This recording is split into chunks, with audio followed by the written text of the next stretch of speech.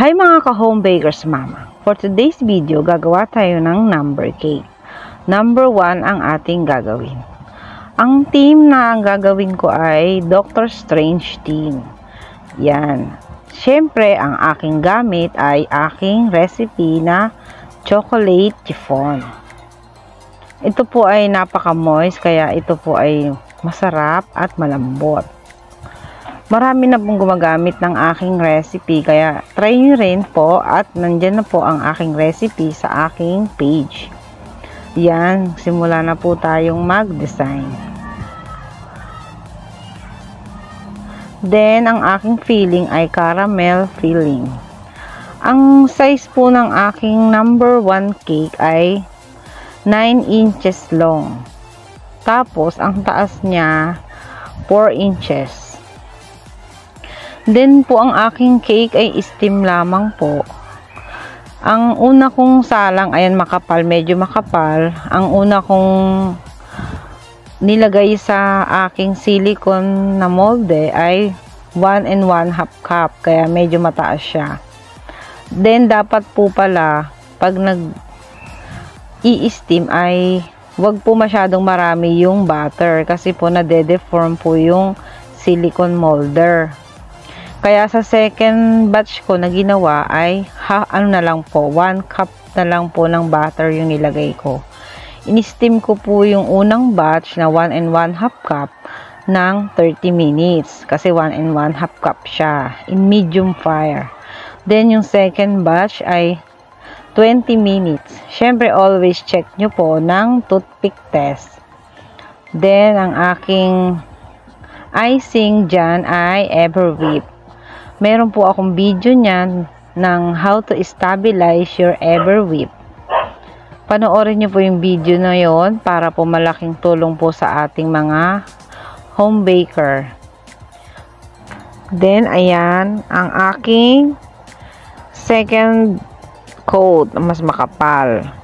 Then, ang gagawin natin dito ay tayo po ay mag-DIY spray. Yes po.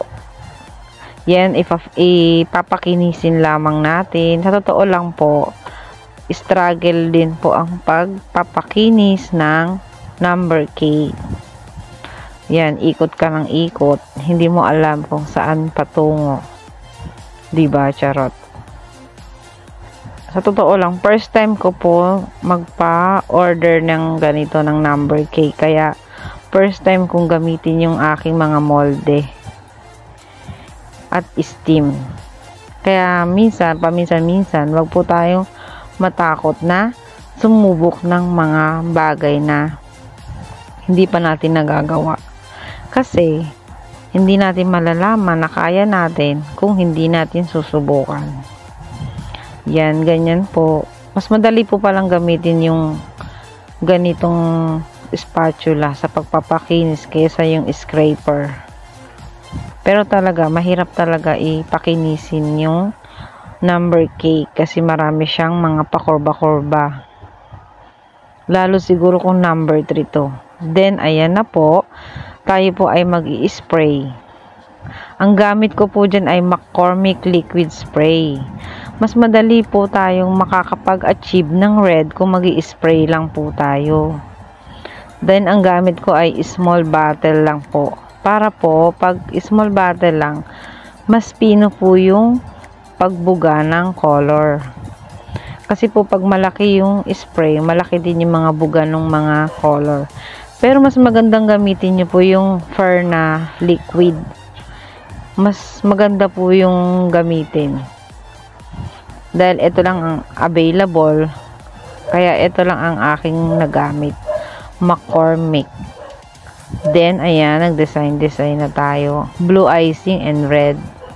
Icing lang po ang aking pang-design kasi yun lang po yung theme ng Doctor Strange. Blue and red. Parang Spider-Man lang din siya. Then, ayan, pupunuin lang natin ng icing ang ibabaw. Then, lalagyan natin syempre ng dagdag na mga draggies para makadagdag naman ng design at mga lalong gumanda yan para lalong mas maganda at lalong sumarap ang ating cake. Dagdag lang ng mga konting dragis para mas maganda tignan. Then, ang ating mga toppers. Yes, printi, printables lamang po yan na kinuha ko po sa Pinterest.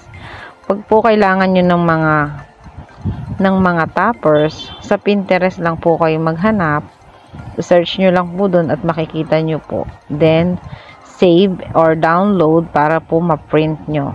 Then, ito na ang aking mga letters. Ang aking mga letters ay fondant. Yes, fondant po yung gamit ko dyan kasi meron pa akong mga tirang fondant. Kaya, ayan muna yung ginamit ko. Kasi, pag gum paste, ang gum paste ay madaling masira. Kaya, ang gum paste, pag tinago nyo dapat ay mga 1 week lang siya. Or pag nakita nyo siya na nag-moist na, hindi na siya pwede. Unlike lang kay fondant na hindi nagmo-moist kahit isang buwan na itago. Then, ayan, dinikit ko na siya ng water. Water lang po yung pandikit sa fondant pag ididikit na po sa cake board. O, di ba?